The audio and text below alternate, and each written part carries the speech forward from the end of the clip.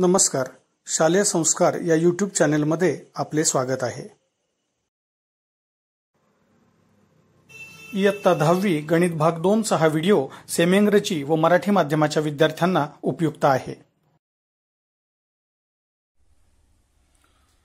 इयत्ता दहावी गणित भाग दोन प्रकरण तिसरे वर्तुळ सर्कल. या प्रकरणातील सुरुवातीला आपण वर्तुळाशी संबंधित काही संज्ञा अभ्यासणार आहोत. म्हणजेच कन्सेप्ट रिगार्डिंग सर्कल थोडक्यात आपण वर्तुळ या प्रकरणापूर्वी पाठीमागच्या इयत्तेत झालेली उजळणी म्हणजेच रिव्हिजन आपण करणार आहोत. आता वर्तुळाशी संबंधित संज्ञा म्हणजेच कन्सेप्ट रिगार्डिंग सर्कल आपण अभ्यासूया. सुरुवातीला आपण वर्तुळाची व्याख्या पाहूया.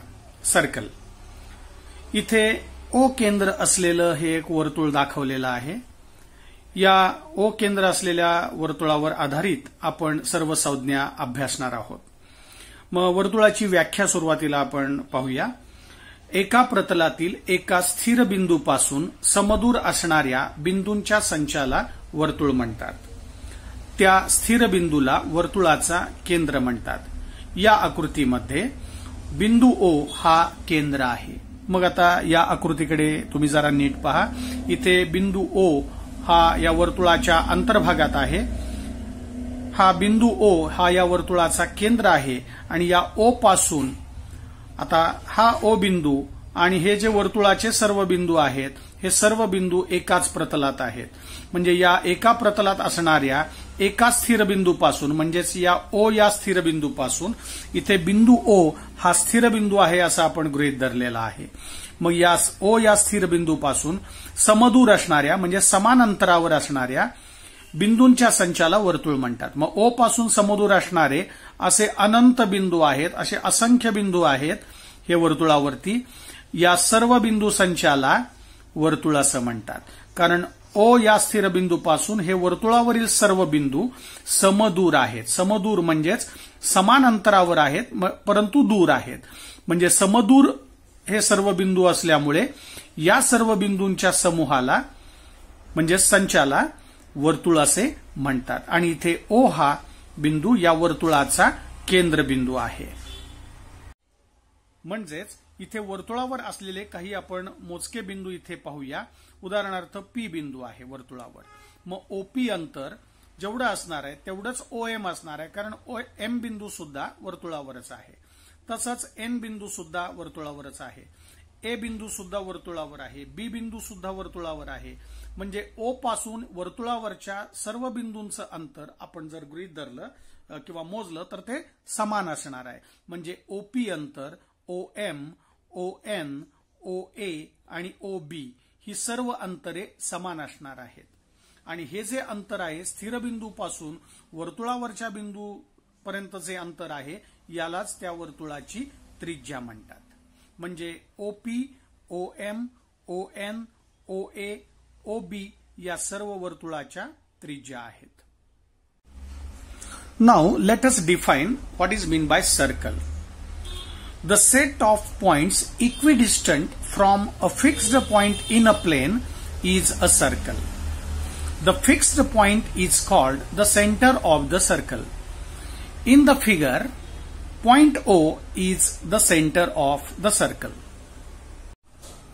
Now, in this figure, point O is in the interior of this circle and this is a fixed point and now all the points which are on the circle they are equidistant from this point O. So this fixed point is called as center of the circle and all these points which are on the circle and they are equidistant from this center. So such a set of all points which are equidistant from this fixed point. So that set is called as circle. So in this figure the set of all these points which are on the circle and they are equidistant from this point O. So set of all these points is called as circle. And all these points and the center means this fixed point, they are in a plane. So they all the points are in a plane and this point O is a fixed point. It is called as center of the circle and all these points on the circle which are equidistant from this point O. So such a set of all points, infinite points are there on this circle and all these infinite points are equidistant from this point O. So such a set of all infinite points is called as circle. And here point O is called as center of the circle. Now here point P is on the circle. So segment OP is called radius. OM is also radius. ON is also radius. OA if we join O and A then OA will be radius. Similarly, OB will be radius. So P, M, A, B, N, all these points are on the circle. So all these points are equidistant from this O. So all these are the radii of the circle. Means OP is radius. OM is also radius, OA is also radius, OB is also radius. Similarly, segment ON is also radius. आता त्रिज्या म्हणजे काय पाहूया. Radius वर्तुळाचा केंद्रबिंदू व वर्तुळावरील कोणताही एक बिंदू यांना जोडणारा रेषाखंड म्हणजे वर्तुळाची त्रिज्या होय. आकृतीमध्ये रेख ओपी रेख ओ एम रेख ओ एन या त्रिज्या आहेत. एकाच वर्तुळाच्या सर्व त्रिज्या एकरूप असतात. आता आपण आकृतीवरून त्रिज्येची व्याख्या समजावून घेऊया. इथे वर्तुळाचा केंद्रबिंदू ओ आहे आणि वर्तुळावरील कोणताही जर आपण एक बिंदू घेतला आणि तो जर केंद्रबिंदूशी जर जोडला तर त्या दोन बिंदूंना जोडणारा जो रेषाखंड असतो त्याला वर्तुळाची त्रिज्या म्हणतात. मग इथे बिंदू ओ हा जर वर्तुळाचा केंद्र आहे आणि पी बिंदू वर्तुळावर आहे मग या दोन बिंदूंना जोडलं म्हणजे रेषाखंड ओपी तयार झाला. मग हा रेख ओपी म्हणजेच वर्तुळाची त्रिज्या होय. आपण आत्ताच व्याख्या पाहिली की वर्तुळाचा केंद्रबिंदू आणि वर्तुळावरील कोणताही एक बिंदू यांना जोडणारा रेषाखंड म्हणजे वर्तुळाची त्रिज्या होय. तसंच इथे ओ आणि एम ही सुद्धा जर आपण जोडलेलेच आहे तिथे बिंदू ओ हा केंद्र आहे एम हा वर्तुळावर आहे म्हणजे ओ एम हा रेषाखंड सुद्धा वर्तुळाची त्रिज्या आहे. तसंच बिंदू ओ केंद्र आहे एन वर्तुळावर आहे. मग ओ आणि एन यांना जोडलं की वर्तुळाची त्रिज्या होईल. म्हणजे इथे रेख ओ एन सुद्धा वर्तुळाची त्रिज्या आहे. तसंच जर आपण हा ए आणि ओ बिंदू जर जोडला तर ही सुद्धा त्रिज्या होईल. कारण ओ केंद्र आहे आणि ए वर्तुळावर आहे. त्यामुळं ओ ए जर जोडला तर ही सुद्धा वर्तुळाची त्रिज्या होईल. तेव्हा वर्तुळाची त्रिज्या म्हणजे काय? तर वर्तुळाचा केंद्रबिंदू आणि वर्तुळावरील बिंदू यांना जोडणारा रेषाखंड. याला म्हणतात वर्तुळाची त्रिज्या. आणि एकाच वर्तुळाला अशा अनंत त्रिज्या आपल्याला काढता येतात आणि एकाच वर्तुळाच्या या सर्व त्रिज्या एकरूप असतात. म्हणजे समान मापाच्या असतात. म्हणजे ओपीची जेवढी लांबी आहे तेवढीच ओ ची असेल तेवढीच ओ ची असेल तेवढीच ओ ची असेल आणि तेवढीच ओबीची असेल. कारण या सर्व एकाच वर्तुळाच्या त्रिज्या आहेत. एकाच वर्तुळाच्या सर्व त्रिज्या एकरूप असतात म्हणजे समान लांबीच्या असतात. आता त्रिज्याची व्याख्या सेमी इंग्रजीच्या विद्यार्थ्यांसाठी इंग्रजीतून अभ्यासूया. Radius a segment joining the centre of the circle and any point on the circle is called a radius in this figure segment OP, segment OM, segment ON are the radia of the circle. Radia means it is a plural of radius. म्हणजे रॅडियसचं अनेक वचन radii आहे. The radii of same circle are congruent that is OP is equal to O M is equal to O N म्हणजे या तिघांची लांबी समान आहे. All these radii of circles are congruent means they have equal measure Now let us understand this uh, definition of radius from figure. Now in this figure, point O is the center of this circle. Here point P is on the circle. So if we join the center of the circle and any point on the circle, then this segment OP will be a radius. Because this is the definition just we learn. The definition of radius is a segment joining the center of the circle and any point on the circle. If we join this segment, we get the radius. So segment joining the center of the circle and any point on the circle is called as radius. So here segment OP is a radius. Similarly here point M is on the circle and point O is the center of the circle. So if we join these two points, O and M, here we join these two points. So segment OM is called as radius. Similarly here, N is on the circle and point O is the center. So this segment ON is also a radius. So similarly, if we join this point O and point A, we get segment OA. So segment OA will be a radius if we join them. So point O is the center and A is any point on the circle. If we join them, we get a radius. So here OB will be a radius. So all these are the radii of the circle. So OP, OM, segment OA, segment OB, segment ON, all these are the radii of this circle. And the radii of the same circle are congruent. We can draw infinite radii to a circle. So there are so many radii we can draw here. So infinite radii are for any circle and all the radii of the same circle are congruent. Means they have an equal measure. Means here OP is equal to OM is equal to ON. Whatever is the length of OP, same length will be of OM and ON. So OP is equal to OM is equal to ON. So all the radii of the same circle are congruent means they have a equal measure. आता आपण वर्तुळाची जीवा म्हणजे काय ते समजावून घेऊया chord of a circle वर्तुळावरील दोन बिंदूंना जोडणाऱ्या रेषाखंडास जीवा म्हणतात. रेख ए बी आणि रेख एम एन या जीवा आहेत. आता इथे आकृतीवरून आपण समजावून घेऊया. या आकृतीमध्ये बिंदू ओ हा वर्तुळाचा केंद्रबिंदू आहे. मग आत्ताच आपण व्याख्या पाहिली की वर्तुळावरील दोन बिंदूंना जोडणाऱ्या रेषाखंडास जीवा म्हणतात. मग आता इथे बिंदू एम आणि बिंदू एन हे दोन्हीही बिंदू वर्तुळावर आहेत. मग या दोन बिंदूंना जोडणारा हा रेषाखंड एम एन तयार झाला. मग हा रेषाखंड एम एन जीवा आहे. कारण वर्तुळावरील दोन बिंदूंना जोडणाऱ्या रेषाखंडाला जीवा म्हणतात. मग एम आणि एन हे दोन्ही बिंदू वर्तुळावर आहेत म्हणून एम एन ही जीवा आहे. तसंच इथे ए आणि बी हे दोन्ही बिंदू वर्तुळावर आहेत. म्हणजेच या दोन बिंदूंना जर आपण इथे जोडलेला आहे तर ही सुद्धा या वर्तुळाची जीवा आहे. अशा अनंत जीवा वर्तुळाला आपल्याला काढता येतील. म्हणजे या आकृतीमध्ये बिंदू ओ केंद्र असलेल्या या वर्तुळामध्ये एम आणि एन वर्तुळावर आहेत त्यामुळे रेख एम एन ही जीवा आहे. तसंच बिंदू ए आणि बी हे सुद्धा वर्तुळावर आहेत. म्हणून यांना जोडणारा रेषाखंड म्हणजेच रेख ए बी सुद्धा जीवा आहे. Now let us define what is mean by chord a segment whose end points lie on the circle is called a chord In the figure, segment AB and segment MN are the chords. Here, point M and point N are the endpoints of this segment MN. And these two endpoints are on the circle. So, the segment whose endpoints lie on the circle, it is called as chord. So, segment MN is a chord. Similarly, here, point A and point B are the endpoints of this segment AB. So these two points endpoints are on the circle. So segment AB is also a chord. So segment whose endpoints lie on the circle is called a chord.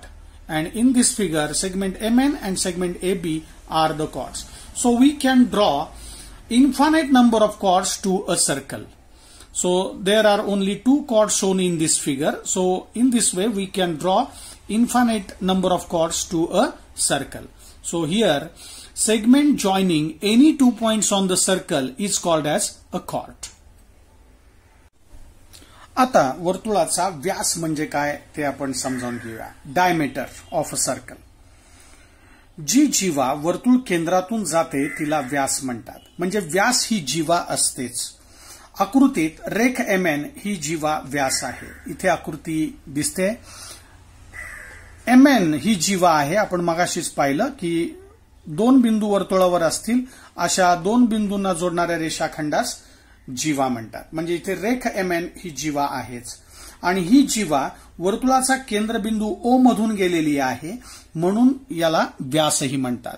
म्हणजे M N ही जीवा पण आहे आणि व्यास पण आहे. आणि व्यास ही वर्तुळाची सर्वात मोठी जीवा असते. एकाच वर्तुळाला अशा आपण अनंत व्यास आपण असे काढू शकतो. म्हणजेच व्यास म्हणजे काय? तर जी जीवा वर्तुळाच्या केंद्रबिंदूतून जाते म्हणजेच व्यासाची अंतिम टोके म्हणजे अंत्यबिंदू त्या रेषाखंडाचे वर्तुळावर असतात आणि त्या दोघांना जोडणारा जो रेषाखंड असतो तो वर्तुळ केंद्रातून जात असेल तर त्याला व्यास म्हणतात. म्हणजे जी जीवा वर्तुळ केंद्रातून जाते तिला व्यास म्हणतात. इथे रेख एम एन हा ही जीवा व्यास आहे. पण इथे एबी ही जीवा आहे परंतु हा व्यास नाही कारण एबी ही जीवा वर्तुळाचा केंद्रबिंदू ओ मधून गेलेली नाही. म्हणून एबी ही जीवा आहे परंतु व्यास नाही पण एम एन ही जीवा पण आहे आणि व्यास पण आहे. व्यास ही वर्तुळाची सर्वात मोठी जीवा असते. त्रिज्येच्या दुप्पट व्यास असतो. इथे आपण पाहू शकतो की एम एन हा व्यास आहे आणि या एका व्यासामध्ये इथे दोन त्रिज्या आलेल्या आहेत. एक त्रिज्या आहे ओ एम आणि दुसरी त्रिज्या आहे ओ एन आणि एकाच वर्तुळाच्या त्रिज्या एकरूप असतात हेही आपण पाहिलेलं आहे. म्हणजे ओ एम आणि ओ एन अंतर समान असणार आहे. म्हणजेच ओ हा बिंदू एम एन या रेषाखंडाचा मध्यबिंदू आहे. म्हणजे बिंदू ओ जर रेख एम एनचा मध्यबिंदू असेल म्हणजेच व्यासाच्या निमपट त्रिज्या असते. म्हणजेच त्रिज्येच्या दुप्पट व्यास असतो. म्हणून आपण इथे सूत्र लिहिलंय व्यास बरोबर दोन गुणिले त्रिज्या. व्याससाठी डी अक्षर असतं आणि त्रिज्यासाठी आपण आर अक्षर मानतो. म्हणजे सूत्र तयार होईल डी बरोबर दोन गुणिले R. Now let us define the diameter the chord which passes through the centre of the circle is called the diameter In this figure, Mn is a chord and this chord passes through center O. So this is called as chord of the circle. In the figure, segment Mn is a diameter. Now, uh, also we know that each circle have infinite diameters. So here one diameter is shown in the figure. Similarly, we can draw infinite number of chords which passes through the center. So all these are the diameter of the circles. So we can draw infinite number of diameters to a circle. So each circle have infinite diameters. Diameter is the longest chord of the circle. Means here Mn is the longest chord of this circle. And diameter is twice the radius. Means D is equal to 2 into r. d means diameter and r means radius of the circle. So diameter is twice the radius. Means here on the diameter mn there are two radia. One is OM and another is ON. So OM and ON are equal because they are the radii of the same circle and radii of same circle are congruent so OM is equal to ON. So it means that point O is the midpoint of this diameter MN. So MN consists of two radii, one is OM and another is ON. So OM and ON are equal means point O is a center of this uh, means midpoint of this diameter. So we can write diameter mn is equal to 2 times the radius means here d is equal to 2r. आता या आकृतीवरून आपण समजावून घेऊया की D बरोबर दोन R हे सूत्र कसं आहे म्हणजेच त्रिज्येच्या दुप्पट व्यास कसा असतो मग समजा इथे त्रिज्या आर दिलेली आहे आपल्याला चार सेंटीमीटर तर आपण व्यास काढू शकतो. त्रिज्या चार सेंटीमीटर दिली आहे म्हणजेच ओ एन आणि ओ एम दोन्ही चार असणार आहेत. मग ओ एम पण चार आहे आणि ओ एन पण चार आहे. म्हणजेच इथे आपण सूत्रात किंमत ठेवली. डी बरोबर दोन गुणिले चार म्हणजेच डी बरोबर मिळाले आठ. म्हणजेच व्यासाच्या निंपट त्रिज्या असते आणि त्रिज्येच्या दुप्पट व्यास असतो. व्यास नेहमी मोठा असतो. If the radius of the circle is four then we can find the diameter as here OM and ON are the radii of the circle. So radius is given 4 means OM is also 4 and ON is also 4.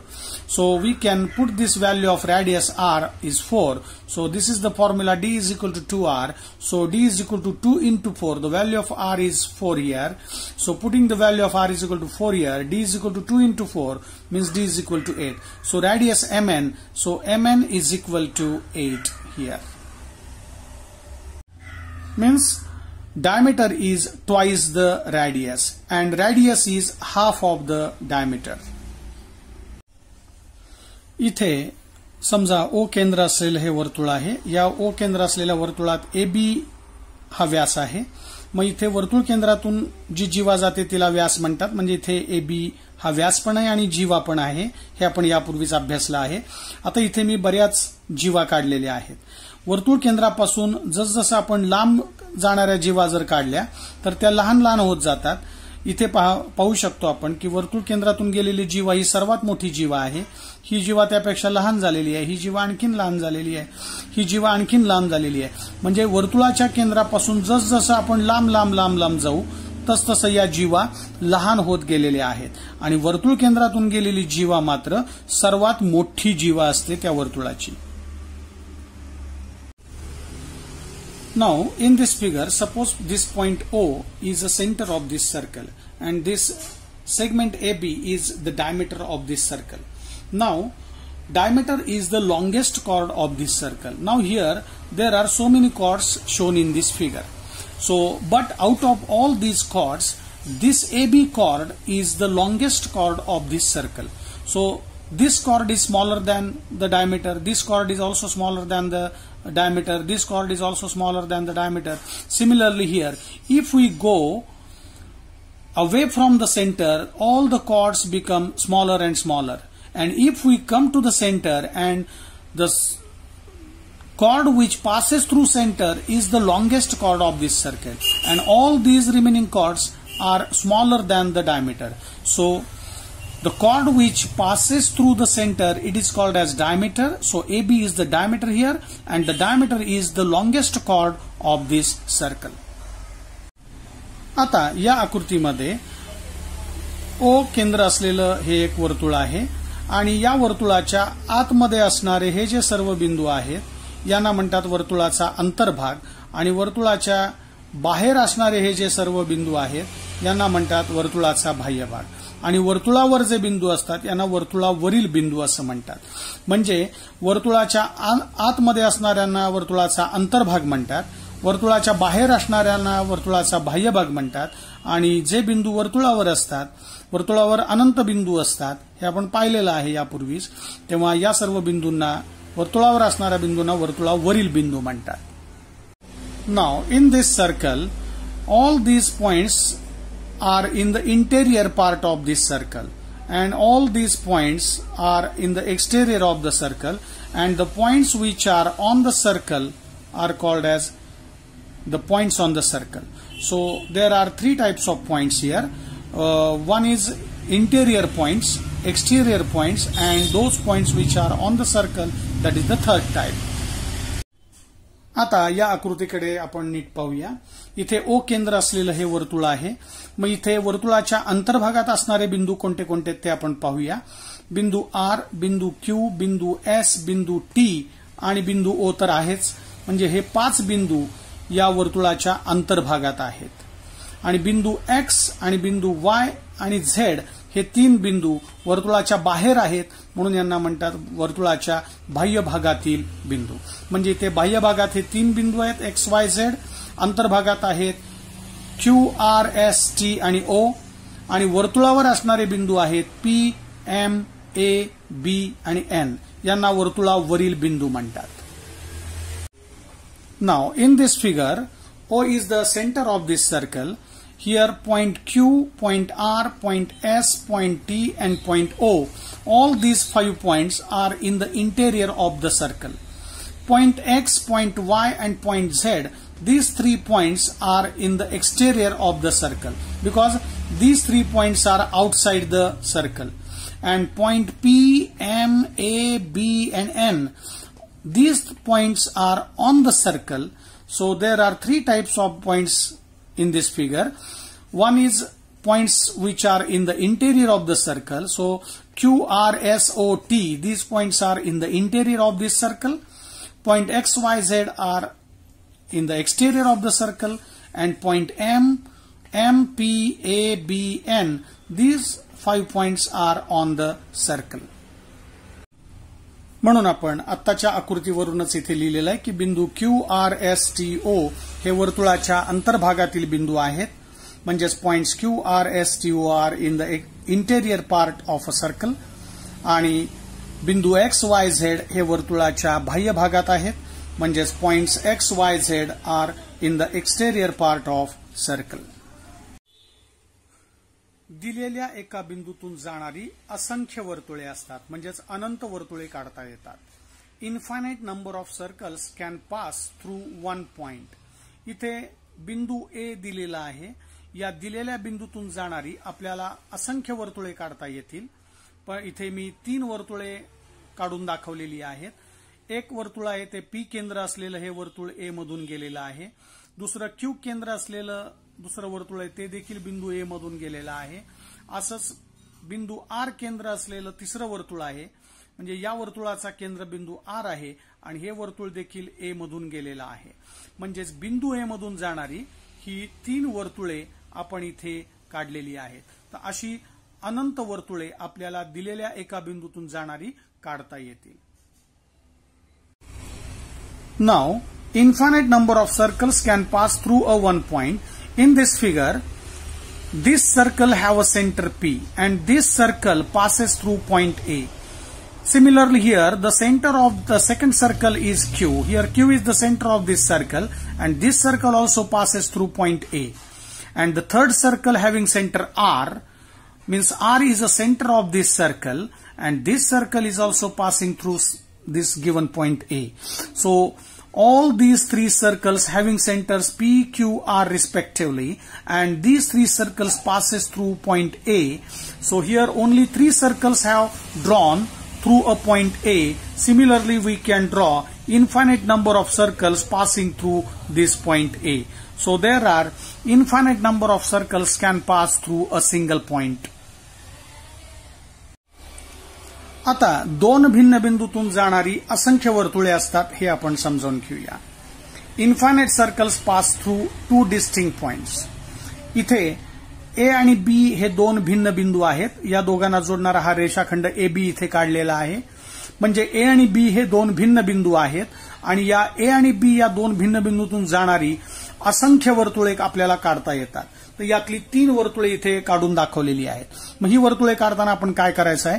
तर या रेख ए बीचा लंब दुभाजक प्रथम काढून घ्यायचा आहे. लंब दुभाजक कसा काढायचा हे आपण यापूर्वीच्या इयत्तांमध्ये शिकलेलो आहे की ए आणि बी वर लोखंडी टोक कर्कटकचं ठेवायचंय कंपासचं टोक लोखंडी टोक ठेवायचं आहे निम्म्यापेक्षा जास्त अंतर घेऊन वर आणि खाली असे कंस करायचे आहेत. इथे लाल शाईने हे कंस दाखवलेले आहेत. निम्म्यापेक्षा जास्त अंतराने हे कंस करायचे आहेत आणि हा लंब दुभाजक प्रथम काढून घ्यायचा आहे. महालंब दुभाजक काढल्यानंतर या लंबदुभाजकावरचा कोणताही बिंदू आपण जर या ए आणि बी मधून जाणाऱ्या वर्तुळाचा जर केंद्र घेतला तर आपल्याला या ए आणि बी मधून जाणारी अनंत वर्तुळे काढता येतील.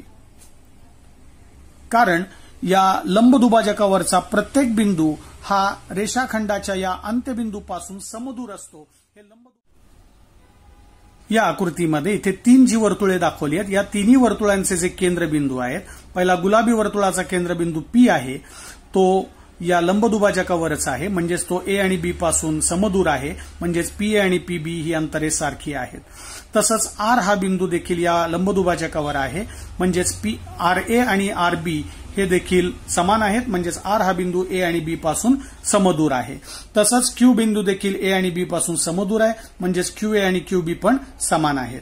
म्हणजेच इथे या लंबदुभाजकावरचा प्रत्येक बिंदू हा ए आणि बी पासून समदूर आहे. या लंबदुभाजकावरती कोणताही एक जर बिंदू घेतला आणि तो केंद्र मानून जर ए आणि बी मधून जाणारं वर्तुळ काढलं तर अशी असंख्य वर्तुळे आपल्याला काढता येतील. मात्र प्रत्येक वर्तुळाचा केंद्र जो ए आणि बी मधून जाणारं जे वर्तुळ आहे त्या प्रत्येक वर्तुळाचा केंद्र मात्र या लंब दुभाजकावरच असेल. त्यामुळे या लंब दुभाजकावर असे अनंत बिंदू आहेत मग यातील प्रत्येक बिंदू केंद्र मानून ए आणि बी मधून जाणारी अशी असंख्य वर्तुळे आपल्याला काढता येतील.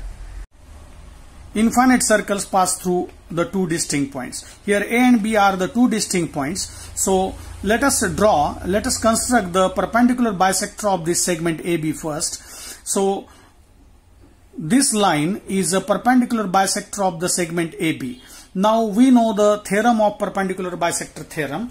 Uh, the theorem is that every point on the perpendicular bisector is equidistant from the endpoints of the segment. So this point R is equidistant from these two points A and B means RA is equal to RB. Similarly, P is also on this bisector. So PA and PB both are equal means P is also equidistant from points A and B. Similarly, point Q is also on this perpendicular bisector. So point Q is also equidistant from these two endpoints A and B means QA is equal to QB.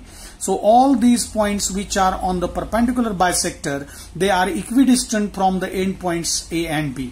So if we take any point on the perpendicular bisector as a center of the circle which passes through the two distinct points A and B, then we can uh, draw, we can construct the infinite number of circles passing through these two points A and B.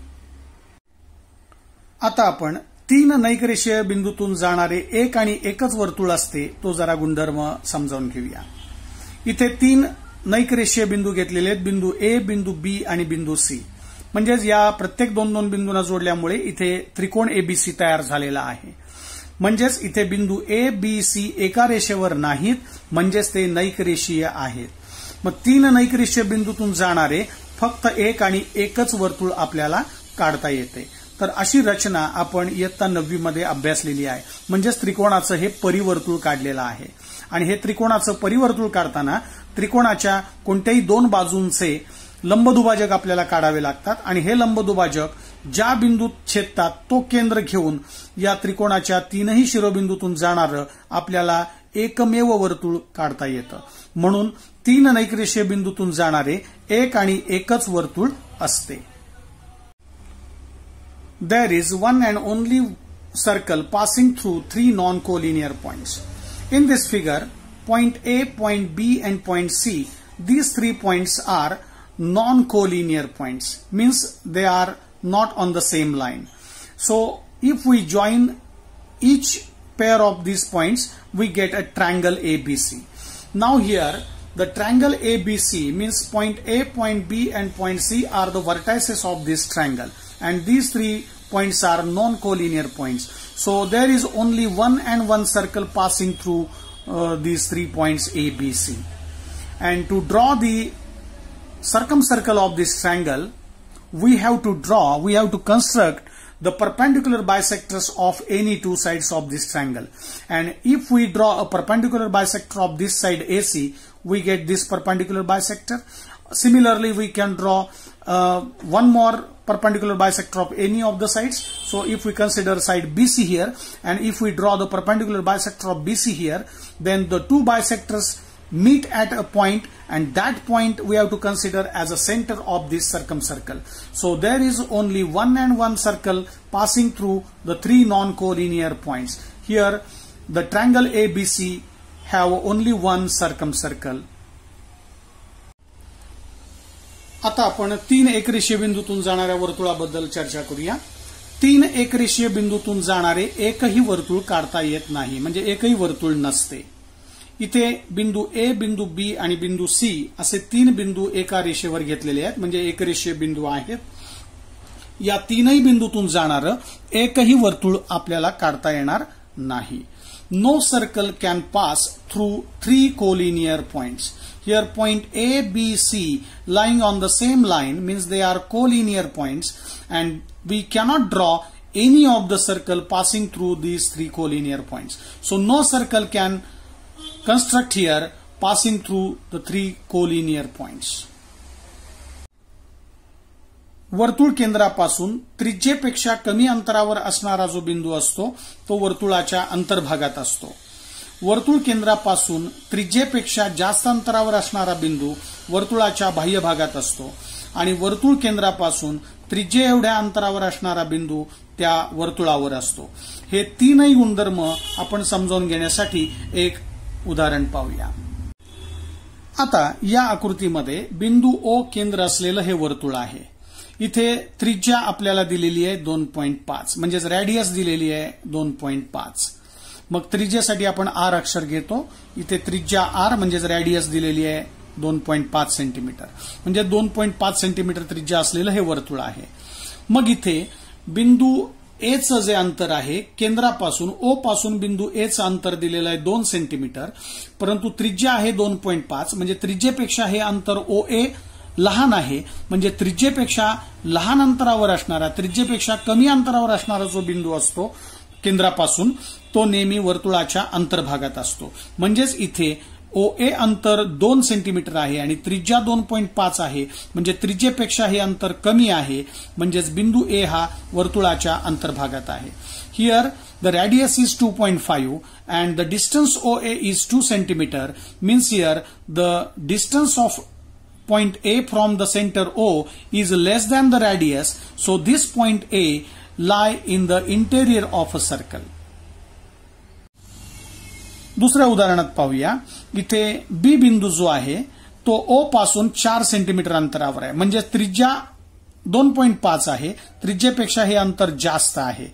म्हणजे केंद्रापासून त्रिज्येपेक्षा जास्त अंतरावर असणारा बिंदू हा वर्तुळाच्या बाह्य भागात असतो. त्यामुळं बिंदू बीचं स्थान वर्तुळाच्या बाहेर आहे. इथे बिंदू एचं स्थान वर्तुळाच्या अंतर्भागात होतं कारण तो त्रिज्येपेक्षा लहान अंतरावर होता. म्हणजे त्रिज्येपेक्षा कमी अंतरावर असणारा बिंदू केंद्रापासून वर्तुळाच्या अंतर्भागात असतो. केंद्रापासून त्रिज्येपेक्षा जास्त अंतरावर असणारा बिंदू वर्तुळाच्या बाह्य भागात असतो. म्हणून बिंदू बी हा वर्तुळाच्या बाहेर आहे. Here distance O B is four centimetre so the point B is four centimetre from the centre O but here radius is two point five so this distance O B OB is greater than the radius, so this point B lie on the exterior of this circle. So here point B is in the exterior of the circle.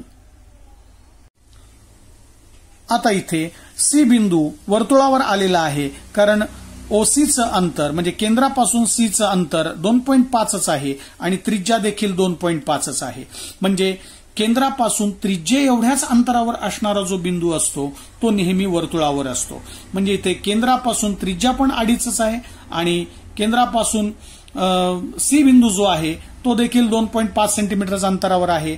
म्हणून हा बिंदू C वर्तुळावर आहे. म्हणजेच वर्तुळ केंद्रापासून त्रिज्या एवढ्या अंतरावर असणारा जो बिंदू असतो तो नेहमी वर्तुळावरच असतो. म्हणून इथे बिंदू सी हा वर्तुळावर आहे. Now, in the third case, here distance OC is 2.5 centimeter and the radius is also 2.5 centimeter. So, the radius is 2.5 as well as the point C is 2.5 centimeter away from the point O means center. So, these two distances are equal.